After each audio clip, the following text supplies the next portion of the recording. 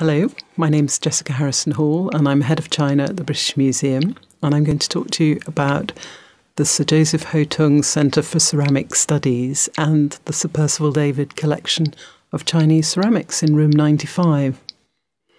This is an extraordinary collection of 1,700 Chinese porcelains and stonewares dating from the 3rd century AD right through to the 19th century.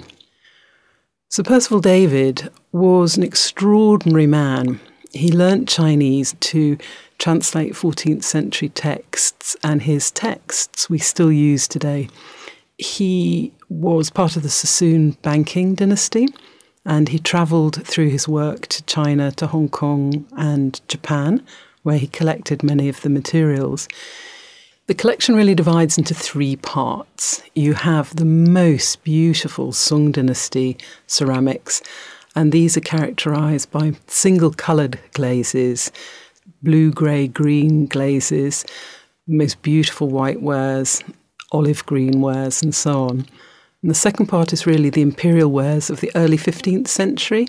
This is the time when the Forbidden City was built and the emperors sent ships from Nanjing all the way to the east coast of Africa in order to spread word of their power. And we have ceramics which were ordered for the court at that time. And the third part are Qing imperial wares. The Qing rule between 1644 and 1911. They're China's last dynasty and some of the most delicate and finely painted wares are located in that section, including pieces which were actually decorated within the Forbidden City itself. In terms of highlights of the collection, we really must look at the Ru wares, which are situated right at the beginning of the gallery. And these were made for a period of only 20 years.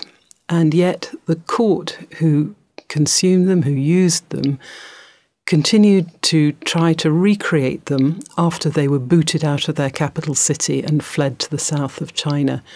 And for years, people have tried to recreate these glazes, and it's simply impossible. They were made 20 years after the Norman conquest in 1086, and they are simply the most beautiful ceramics ever made. They have a, a unique colour it's neither blue nor grey nor green. In China, it's described as qing, which is literally the colour of nature. And that can be any shade from beige through those pigments we've just described all the way to black. There are less than 100 in the entire world, and in this collection there are 12. So it's a remarkable holding of these Ru wares.